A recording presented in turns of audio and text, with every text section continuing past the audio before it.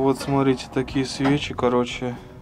Почистить свечи, если у вас нет возможности пока купить или там по любой другой причине. Здесь вот такие засранные свечи. Для начала протрите просто обычной ветошью, бумажкой или чистой туалетной бумагой, что возможно удалить. Далее берите любую емкость, чашку насыпаем пищевую соду. Берем э, пищевой уксус. А где уксус? А вот уксус э, 70%. Набираем кипяток и когда почти вода закипит, смешиваем такое количество 2 столовые ложки уксуса у этого соды и 2 столовые ложки уксуса. Далее делаем кипятком, все перемешиваем, загружаем туда свечи.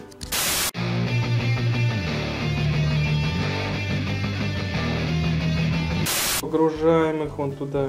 Кидай прям полностью. Посмотрим, как эксперимент. Потом поделаем их горелкой. Что-то лучше отскоблить потом, когда размягчится. Какой-то, может, деревянной палочкой или плоской маленькой отверткой. Они нагрелись? Не лопнут? И не лопнут. Они же в движке горячие же там. Месяц назад? А, типа от перепада? Да. Ну, вообще надо было тепленькую воду, наверное. Но уже, как говорится, поздно. Ну что ты так разобьешь? Не надо их там теребить. Я перемешиваю, как супчик. Не надо, это не супчик, а свечи. мои. Вот, смотри, пошло уже что-то. Смотрите, вода темнеет. Всякие отложения вон вылезают. Надо еще, наверное, туда подбавить. Еще их подбодрить. О, пошла реакция. Сода. Да, вот ее. Ну много так не надо, ты перебьешь сейчас все действие ук. Так, и перемешиваем аккуратненько, да? Ну, по свечам не стучи. Свечи-то нахера перемешивай. Потому что они Да ним стучать. Они мешают перемешивать. Чтобы у них 3D было. У них и так там 3D, они погружены. А теперь еще кипяточка. Все. Теперь, чтобы они там э, ни- никуда не девались, мы сейчас им водяную баню. Так сделаем. О, как смотри. А, уже чистые. Ну-ка покажи, как они там.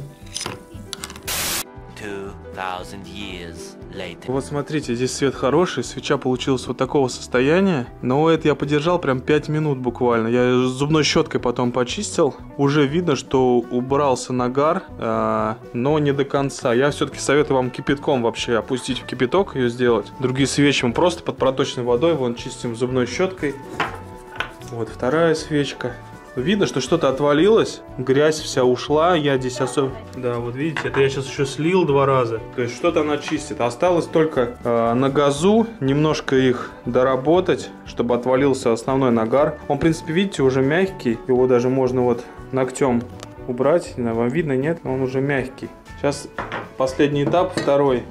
Запускаем газ, берем плоскогубцами за изолятор и самый кончик греем.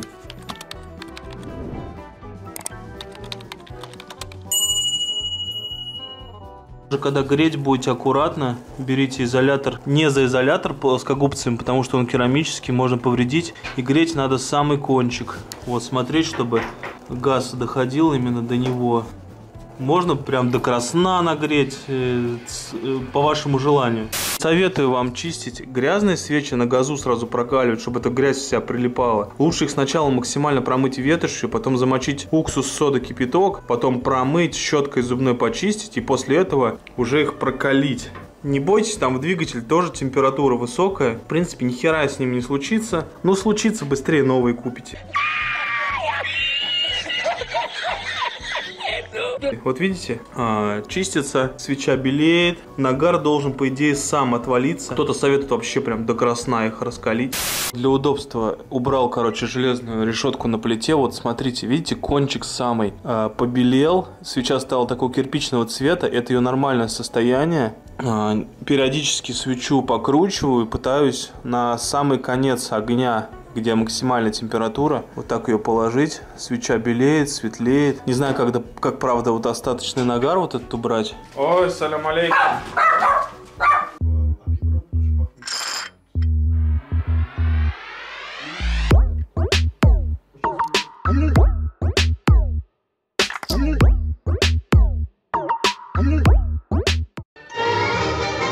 Вот и все, ребята!